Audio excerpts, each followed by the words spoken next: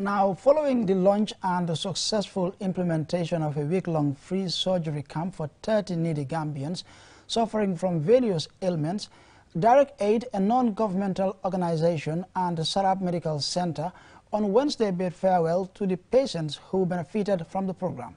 More in this report. Most of these patients came in weak with very little hope of regaining their health. Some of them had been suffering from various life-threatening medical conditions for years needing very costly standard surgeries. With little or no money to cover their medical expenses, this life-changing program has arrived at the right time. This is one of several similar free medical surgery camps organized by Direct Aid and Sharab Medical Center, from which hundreds of Gambians have benefited since 2017. Adelative Orahu, Director Direct Aid, and Dr. Dennis Delafe Udilins, Chief Medical Officer of Sharab Medical Center, expressed gratitude to the donors for supporting the program which they say will have a lifelong impact on the lives of beneficiaries. I also congratulate all the patients. Uh, congratulations.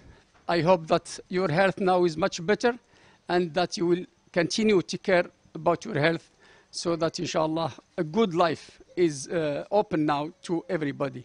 We did the screening of 168 patients. We chose 30 patients basis of social and economical situation because that's why this charity camp was created to help poor Gambian people. Sarah Fama and Musa Damfa, two of the 30 patients to benefit from this year's program, thanked Direct Aid and Sarah for coming to their aid.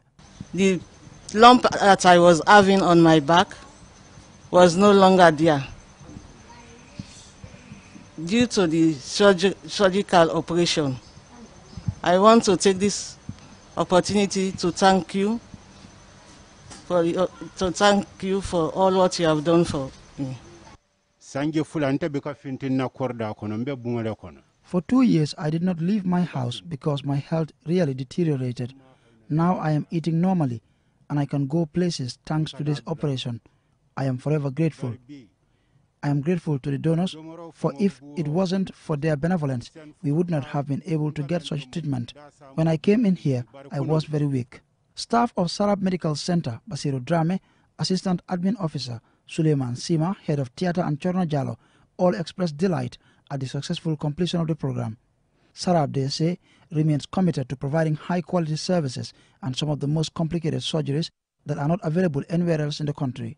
Other speakers included patients Sarata Kamara and Biran Sise, amongst others, who all thanked and prayed for the donors, as well as Direct Aid and Sharab for providing them with medical care at no cost. All 30 surgeries were conducted successfully without any complications.